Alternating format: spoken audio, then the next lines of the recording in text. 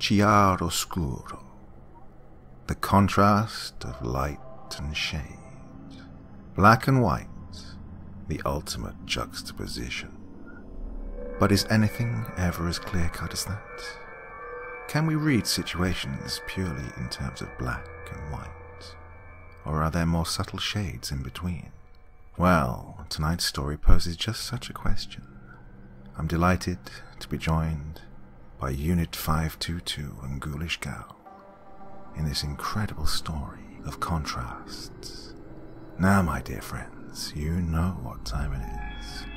It's time to sit back and relax on a Friday evening with your favorite drink. And listen.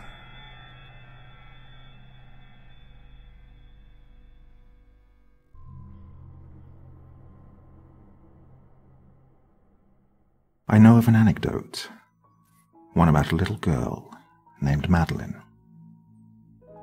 Little Maddie was seven years old, with dark chestnut hair and wide blue eyes. Everyone thought she would grow up to become such a pretty woman, and a smart one at that.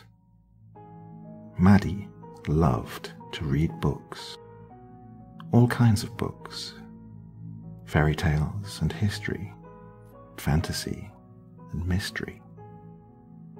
Her parents were so proud of her for being so smart and pretty and brave. They knew she was special. But they were also scared. You see, little Maddie was sick. Very sick. She rarely left her bed. But she had her books and the love of her parents to keep her company. She was brave for both herself and them. Of course, Maddie didn't know any better.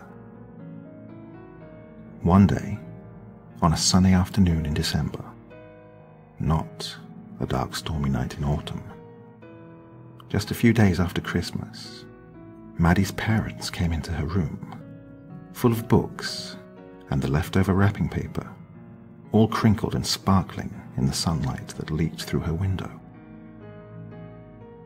They said that they'd have to leave her alone for a while. Not long, just an hour. Just enough time to meet with the doctor. They said that they would be right back, and that if there was any trouble, to call them with the phone that was kept on the nightstand, the one next to her bed, the red one. Maddie wasn't scared, and she knew it wasn't a good idea to move around too much. She was just too brave. Her father kissed her on the forehead, her mother on the cheek. Maddie smiled and asked if they could open her window. It was an especially warm day with a clear blue sky. Some fresh air could be good. Maddie's father smiled back as he opened the window. Anything else? Her parents asked before they left.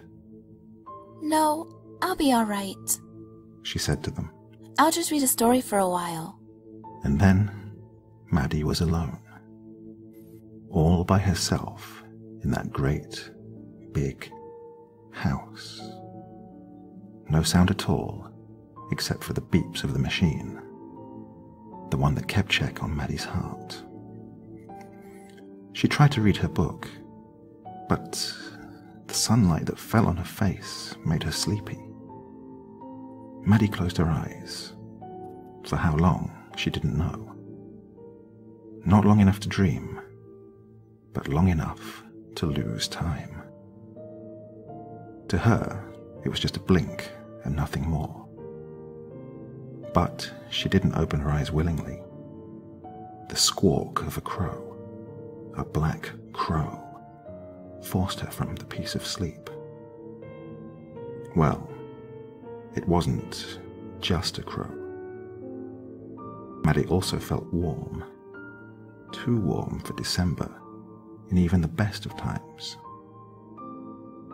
When she woke up, she saw that a crow had perched itself on her windowsill. She also saw something else. Something that made her shriek. The chair that was kept in Maddie's room. The chair that her mother would sit in just before bedtime. The chair that should have been empty had been filled by a stranger. Maddie, it looked like a person, but also not like a person at all. It had a face, with eyes and a mouth, and a nose and all, and it had arms and legs, just like a man's. Hmm. it was even wearing a suit, a black suit with a white shirt and purple tie. But this stranger, this man, if you will, looked wrong to Maddie. His face had all the right parts, but they were mutilated in ways almost incomprehensible. Shiny and pink in some places, black and crackled in others.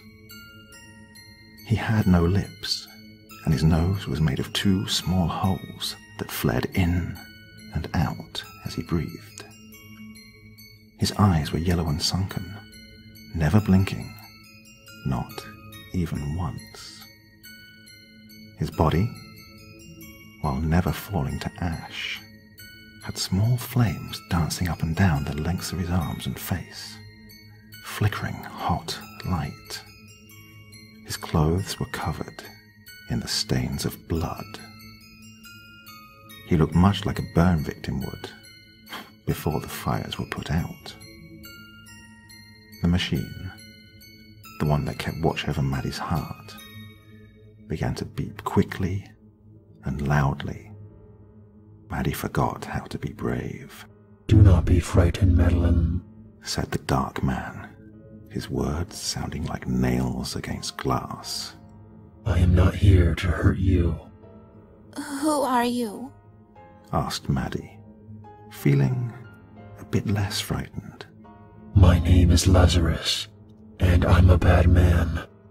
For all the right reasons, he said back to her. Smoke was rising softly from the fires. He seemed to be in pain, but doing his best to ignore it, somewhat stoically. Lazarus. Maddie said out loud, pronouncing each syllable carefully. That's a weird name. It's an old name. A very old name. From a very old story. His eyes searched Maddie's face, looking for any sign of expression, but she gave nothing away. His eyes eventually fell upon the book in Maddie's lap Alice in Wonderland. I see you like stories. Maddie nodded her head. Everyone knew that she liked stories, even strangers. I happen to know a few. Would you like me to tell you one? We have some time to spare. Maddie didn't know what to say. She thought the Burning Man was being friendly enough, even if he was scary. But Maddie was alone. She was always alone, she realized. She never got to meet anyone new, so she decided it best to let Lazarus stay. Besides, she loves stories, even bad ones. Okay. You can tell me a story, but you'll have to leave before Mom and Dad come home. I don't think they like you. Lazarus inhaled deeply, a wheeze through his mouth, and an exhale of smoke through his nostrils. He nodded in agreement. There once was a family of rabbits, a mommy rabbit and three baby rabbits. They lived in a rabbit hole in the forest. They were happy. The baby rabbits would jump and play all day under the shade of the trees or in the tall grass of the sunny meadow while their mother looked for food in the forest. At night, they would return to their hole and they would snuggle together in the warmth and safety They were never worried about anything, as there was plenty of food and fun things to do. And they always had each other for comfort whenever they got sad or frightened.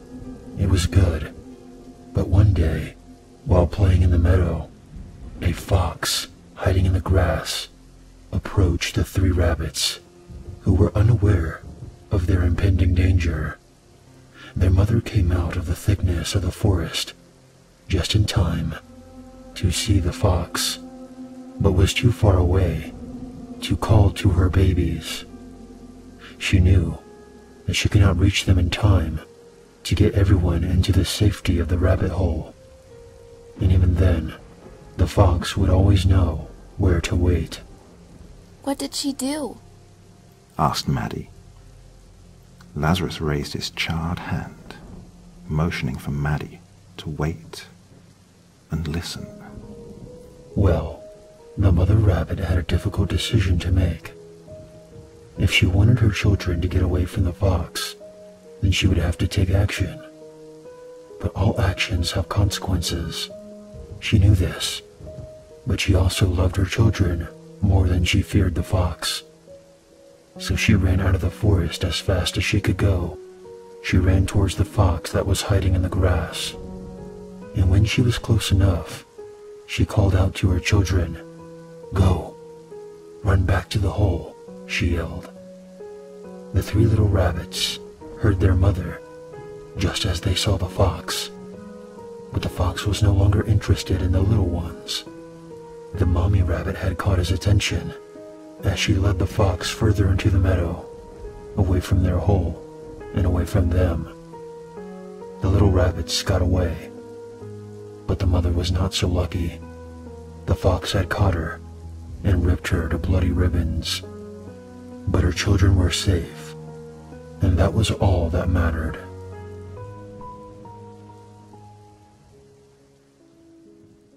Maddie was silent for a moment. So was Lazarus, That was a sad story. said Maddie. Lazarus nodded his head, because he knew it was a sad story. But then again, the truth doesn't pick favorites. I didn't like how the mommy had to die. Lazarus gritted his teeth together. She could have lived if she wanted to. But then what would have happened to her children? She died to save them, for the greater good, and out of love. I guess so, but it's still sad that they had to grow up without their mom. Maddie looked at her windowsill. There were two more crows perched there. One of them stretched its wings and settled next to the others. She thought it was odd, but said nothing. Would you like to hear another? We still have some time. It was hard to tell if Lazarus was happy or sad, or angry. His voice was always the same. His face never changed either. Before she could answer, Maddie coughed into a tissue. It was a long, hoarse cough. When she finished, she saw that there was blood soaking through the soft paper. I'm sick. she said, looking at Lazarus. He leaned in closer, so close that Maddie could count each of his crooked brown teeth. He leaned in close and whispered into her ear. I know. Do you have any stories about sick people? She asked. Once again, Lazarus, the burning man, nodded his head. It doesn't have a happy ending either. That's okay. She said. I'll still listen. Lazarus placed his bony fingers on his lap and breathed in deep.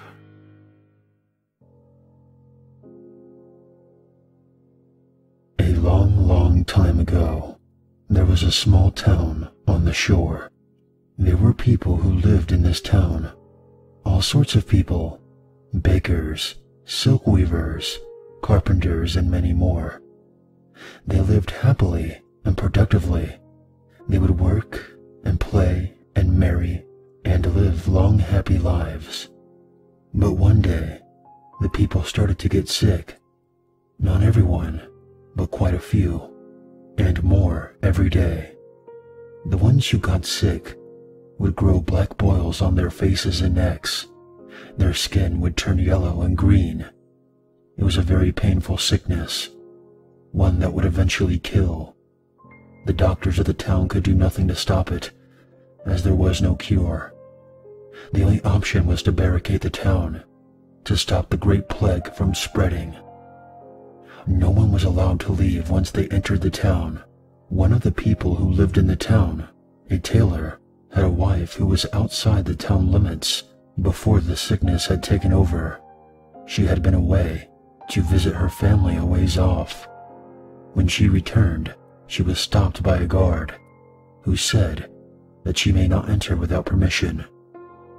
The tailor's wife begged and pleaded to the guard, telling him that her husband, the man that she loved, was in the town.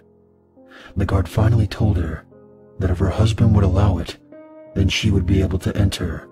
He also warned her that she would not be allowed to leave again. Word was sent to the tailor that his beloved wife was awaiting his permission at the gates. At first, he was overjoyed at the prospect of seeing his dear wife again, as he had been very lonely since her initial departure. But as he thought upon it, the tailor's heart began to sink. He realized that if he were to allow his wife to enter the town, he would only be condemning her to the same fate as so many others. He thought of her suffering through the sickness, the sores, the bile and rot, the festering misery. He could not allow it. He wanted her with him. Of course he did. But he loved her too much to let her perish along with him. He was already showing symptoms of the plague. So it was with a heavy soul that he refused the messenger. He was so heartbroken, his eyes wet with guilt and grief, when word came back to the tailor's wife who had been waiting at the gates all morning. Her heart was also crushed. It wasn't until years later, after she had remarried and raised several beautiful children, that she was finally able to forgive him. She understood that her first love's only wish was for her to continue on and to be happy.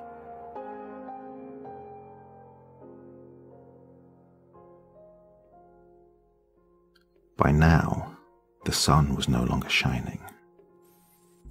Overcast had made the sky a light shade of grey, almost white when compared to the crows on the windowsill. More had shown up while Lazarus had told his story. So many that there wasn't enough room on the sill for all of them. They were starting to perch themselves on a nearby tree. Maddie coughed some more. I liked that one better than the first. At least it wasn't all bad. She said, after her fit of coughs. But why are you telling me all of these sad stories? Lazarus looked at Maddie, never blinking, never smiling. In a voice as black as coal, he said, I think you know why. Maddie looked down into her lap. She did know why. But she wasn't scared.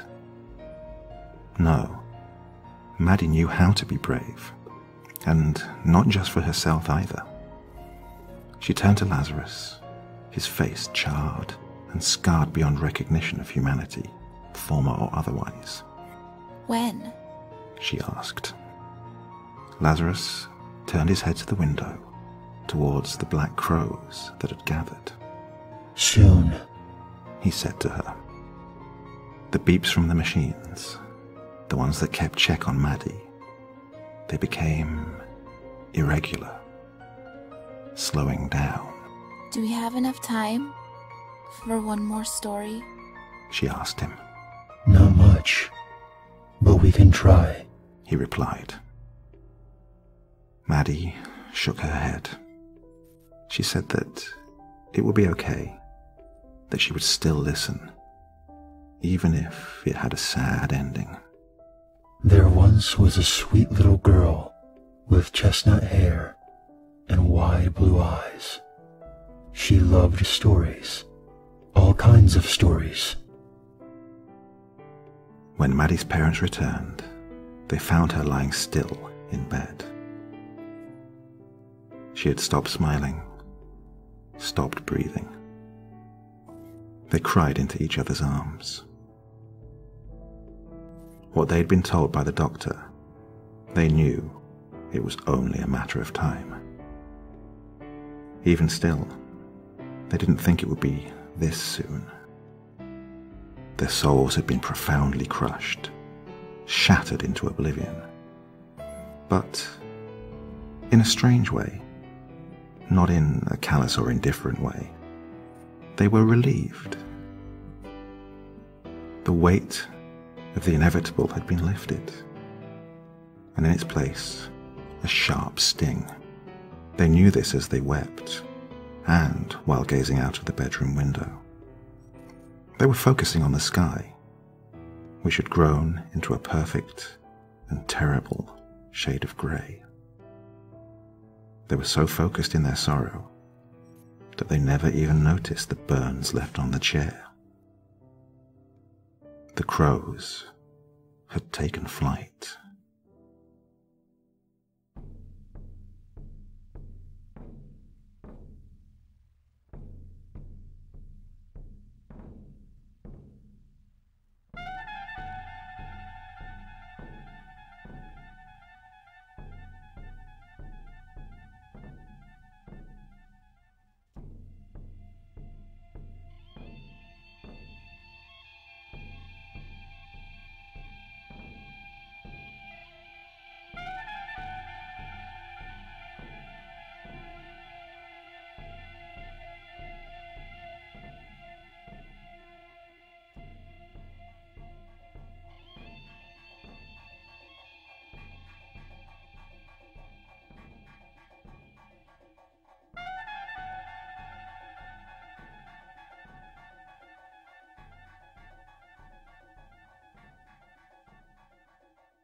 Hey there.